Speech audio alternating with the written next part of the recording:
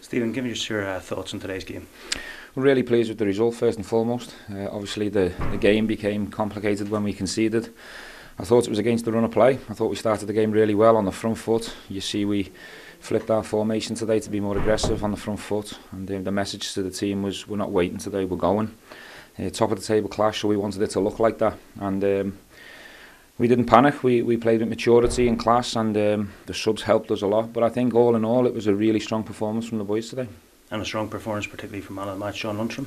He was outstanding again. Um, and you know, myself and the staff don't want to take credit for that. But the reason we John looks so fresh and strong and powerful today is because we offloaded them in midweek.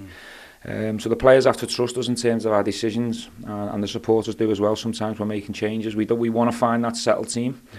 Um, but we realise there's a lot of games over the course of the season and we want to keep people fresh and healthy. Too many people are missing at the moment at key times, injuries, suspensions, mm. COVID. Mm. Um, so we just need to try and find the right balance. But the decisions we made today, in the end, because of the quality around the final third, um, were made to be the right decisions. you talk about squad strength and squad depth, but having Steven Davis come on to close the game out and mm. having James Tavernier to, to, to not even use him today just shows we're in a good place with the, the squad. Yeah, but that's what we've built over the years. We've tried to find the two good players in each position, but we can't stand still. We need to keep improving uh, the team and the squad. Uh, Nathan came in today and I thought he was loads in his game that he can look at and learn from. Mm.